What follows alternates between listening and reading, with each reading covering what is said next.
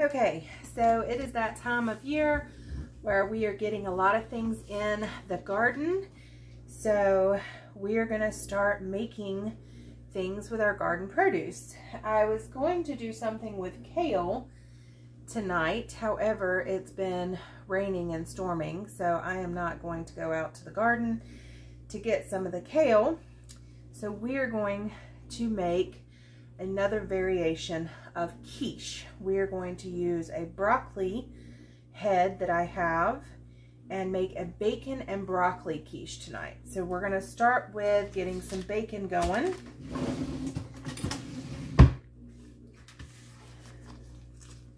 Actually, I might be able to do this. Aha! Some of these are good at that, some of them aren't. Now we do not grow our own pigs on the farm because we do not eat very much pork. So when I need bacon, I do have to buy it.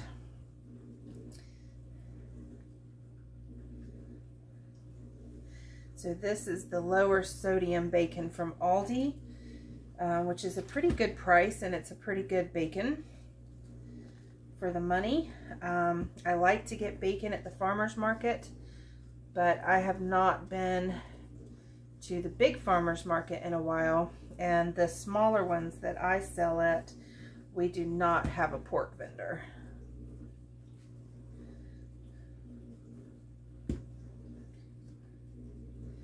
So let's get this on the stove. Well, I thought my microphone was dead, but I think it might be okay. So hopefully that helps out.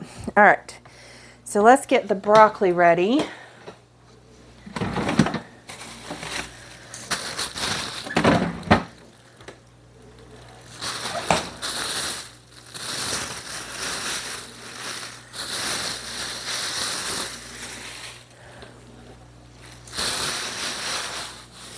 And I am going to wash this. All right.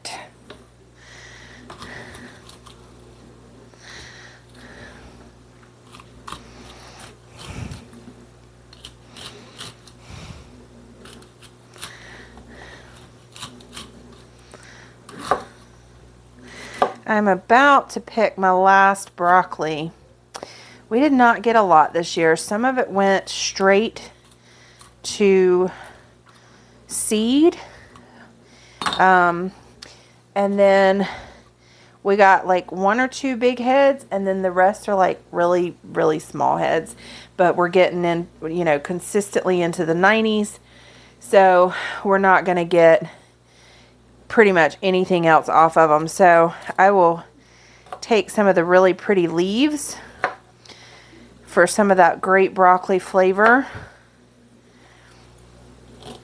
And I will cook with the bigger ones like this. And then we'll try again in the fall.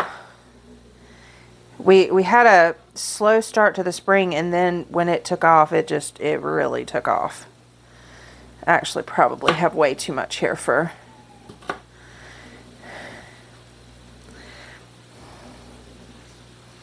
because you need about two cups so that's probably about one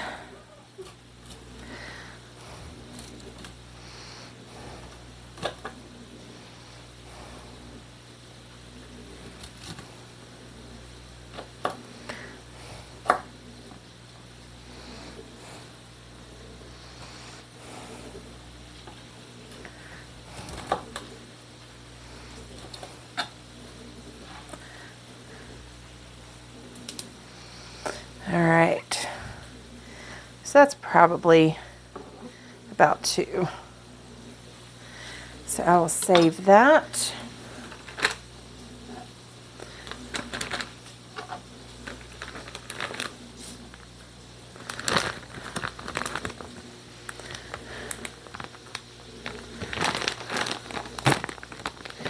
And I'm going to go ahead and do an onion.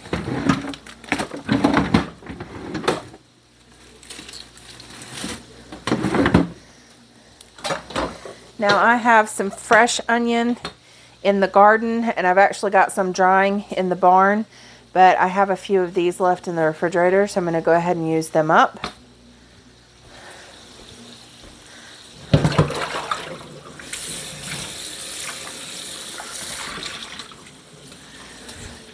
And that saves me again from having to go out in the wet and the rain right now to dig up an onion. I might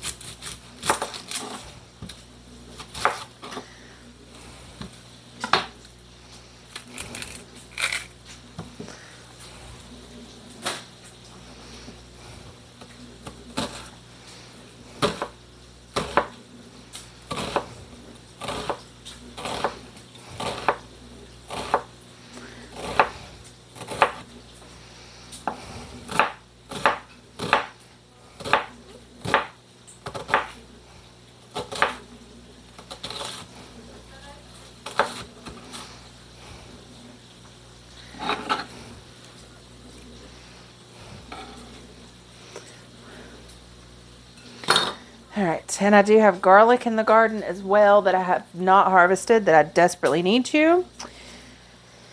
But we'll use garlic powder for right now.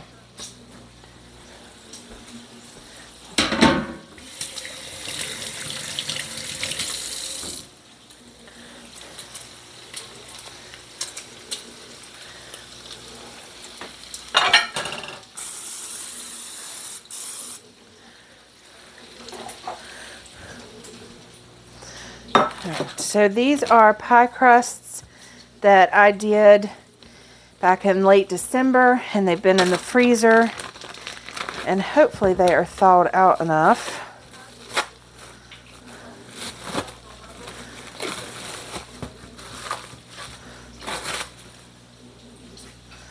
Mm -hmm. Maybe not.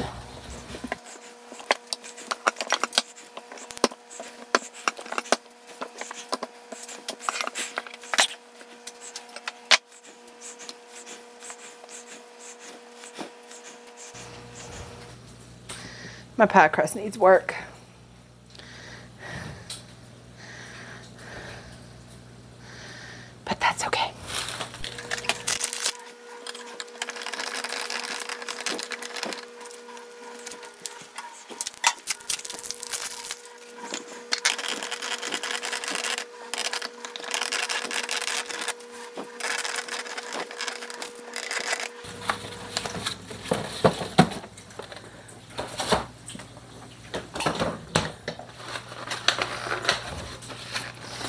These are my eggs. We just reuse cartons. Now these were standing straight up in the water, but they were not floating yet. And I will link a video here that talks about preserving eggs and how to know when they're bad and all that stuff. But we definitely want to crack these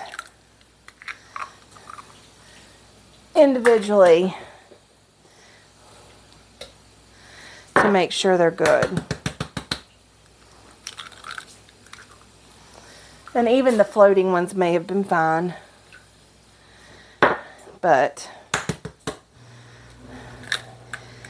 this is definitely a good way to use older eggs because we have fresh ones coming in.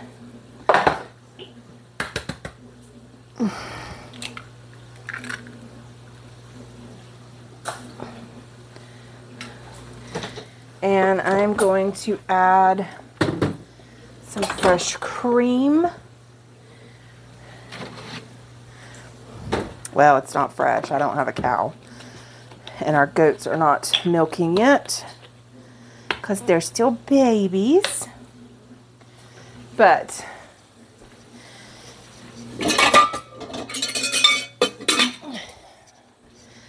it's fresh as far as getting it at the store.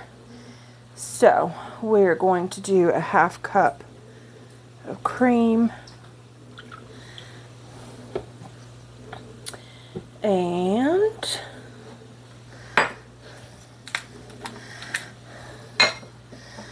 mm, about three quarters milk maybe. I'm not doing it exact.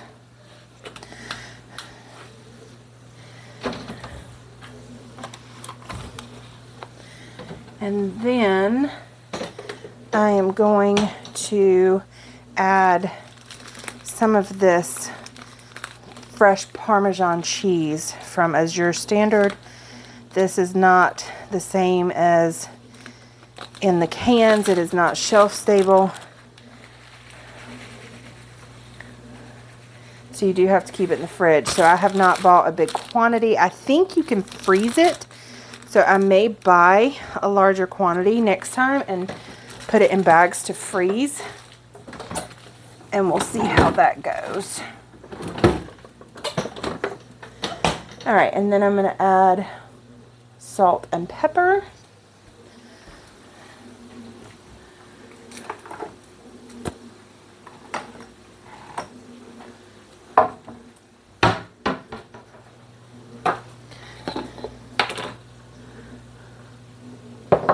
Not too much because the Parmesan is a bit salty and the bacon, even though it's like low sodium, it still has salt in it. So we're not going to add a ton.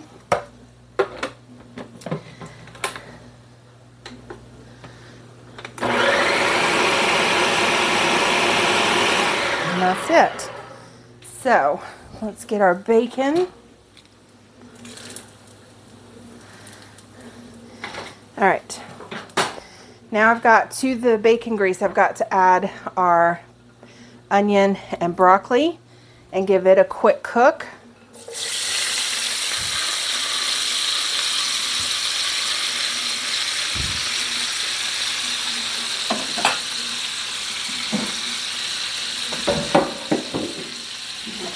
And while that is cooking, I'm going to chop up my bacon and get it in the pan.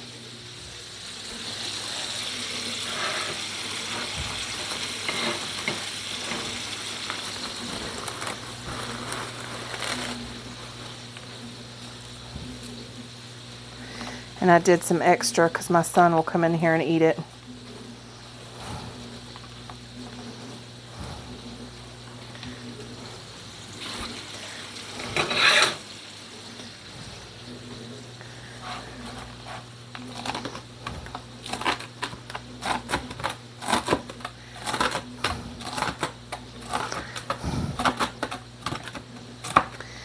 I would say probably five to seven pieces depending on your bacon.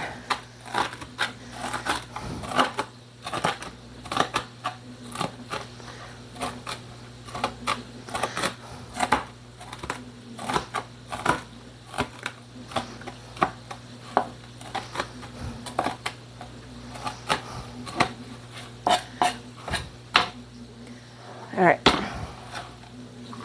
So I'm just going to layer that in the bottom.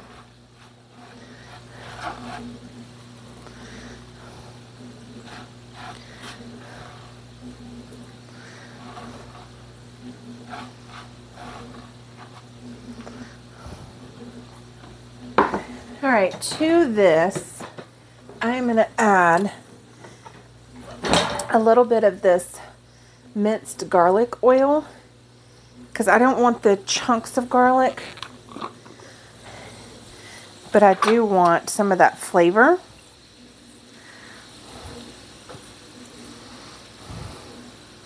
So I'm just going to drizzle that in there and let it cook.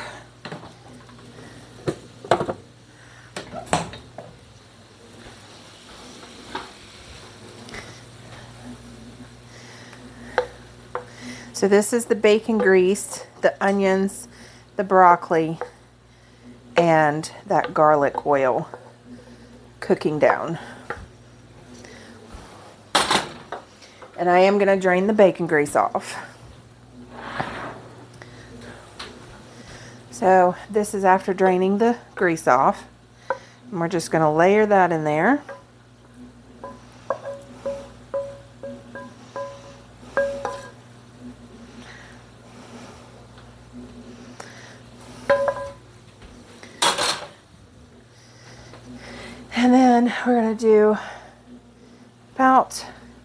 A cup of the mild cheddar.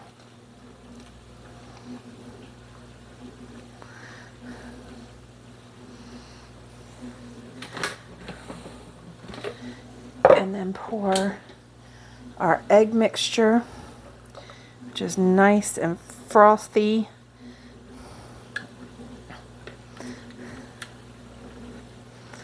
And it does have that Parmesan down in there. Let me get the spoon.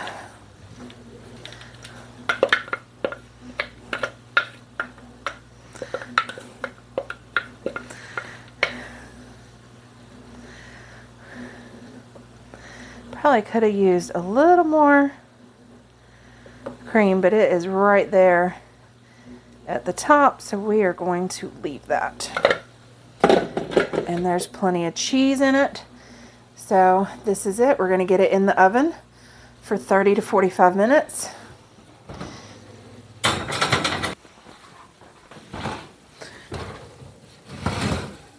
Okay. Let's see if it's done now. I cut into it when I came back in a little bit ago and it was still just a little bit eggy in the center which it may not have been eggy. It may have just been like from the cheddar cheese. But it does look a little bit better. It was just right in that very center right there. It was just a little wetter than I wanted it to be.